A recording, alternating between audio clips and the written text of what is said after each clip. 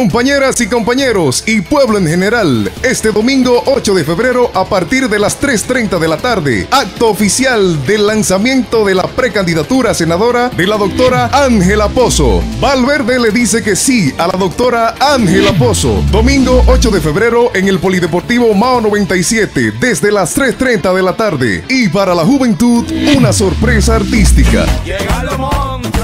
Doctora Ángela Pozo, entrega y dedicación por Valverde. Llega